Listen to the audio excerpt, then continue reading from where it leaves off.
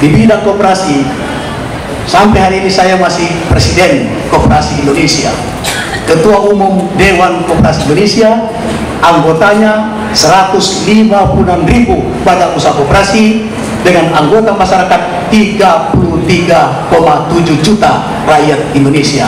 Ketua umumnya adalah bernama Nurdin Alif alumni IKIP Makassar tahun 1982 37 tahun yang lalu. Ini baru lahir.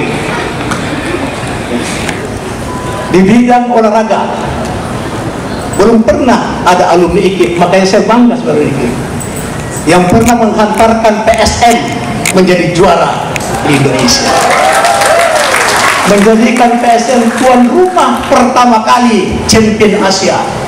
Itulah alumni IKIP Makassar yang sekarang Universitas Negeri belum pernah ada alumni IKIP alumni perguruan tinggi di Sulawesi Selatan yang menjadi ketua umum Persatuan Sepak Bola seluruh Indonesia. Selama dua periode. Yang dulu ketua umumnya 90% ada tentara minimal bintang 3 bahkan yang saya gantikan adalah bintang 4 mantan menteri. Itulah alumni IKIP Makassar. Jadi saya bangga dengan mater kemudian di bidang politik belum ada alumni IKIP yang pernah menjadi orang kedua di partai golongan karya. Nah, ini bukan kampanye. Ini hanya menyampaikan jabatan saya sebagai ketua harian. Dan hari ini juga masih ketua partai Golkar Sulawesi Selatan. Oleh karena itu kiat yang keempat Pak Rektor Pak Prokjas dan seluruh sivitas akademik saya menggabungkan tiga manajemen dalam diri saya yaitu manajemen politik manajemen koperasi dan manajemen sepak bola manajemen manajemen politik adalah terkadang lain pagi, lain siang, dan lain malam. Itulah politik. Manajemen bola ada dinamis. Manajemen koperasi adalah kekeluargaan dan kegotong royongan.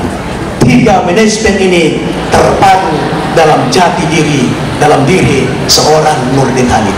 Itulah yang saya gunakan dalam menapaki hidup dan kehidupan.